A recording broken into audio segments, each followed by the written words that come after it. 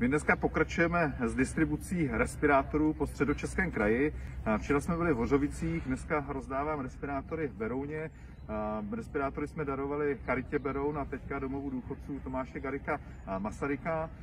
Ve středních Čechách rozdáme takto 3000 respirátorů, které jsme nakoupili od českého výrobce, čili je to i pomoc české ekonomice a snažíme se jako koalice spolu využít část kampaňových peněz na dobrou věc.